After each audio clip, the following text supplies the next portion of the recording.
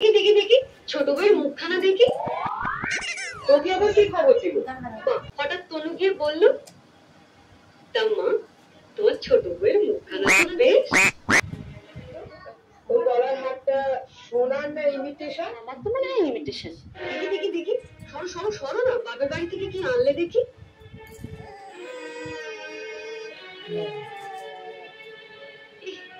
শাড়ি গো কি মেয়ে এ নিশ্চয়ই কোনো ভিখিরি বাড়ির মেয়েকে বিয়ে করেছে তনু আমাদের বাড়ি ঝিরা এ কাপড় পরে। না। ছি, ছি। উম, দেখ, দেখ। এই শাড়িটা কিন্তু বেশ তাই না মেজে বৌদি? মোটামুটি। মা তোমাদের এখন আমাকে মানিয়েছে। খুব সুন্দর বানিয়েছে। খুব সুন্দর। শাড়িতে নিয়ে যাচ্ছি। রন্টু বৌভাতে পরে যাব। শোনো রাত্রিবেলায় ভালো করে আমি এসে সুটকেসটা ঘেটে দেখব। কিছু যেন শরীর রেখো না। মা নজর রেখো।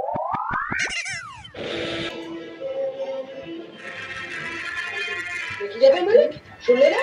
ও এটা করে ওর বন্ধুর বউ হাতে যাবে? নিজের শাড়ি পরে যাক। বড়লোক বাড়ি বউ।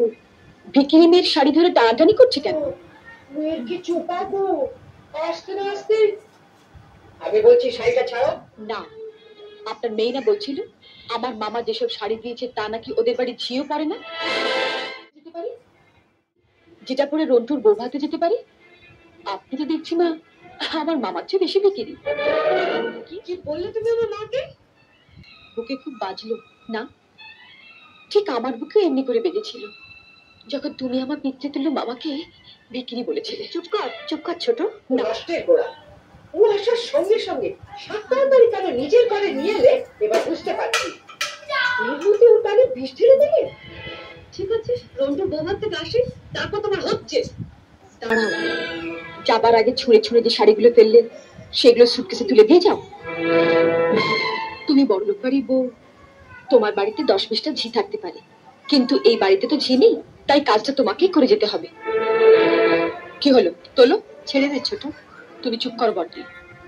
রন্টুর বউ ভাতে যেতে গেলে কিন্তু এই কাজটা করে দিয়ে যেতে হবে ঠাকুরজি। বাবা। বলি কি কোথায় যাচ্ছ? শাড়িগুলো তোলো।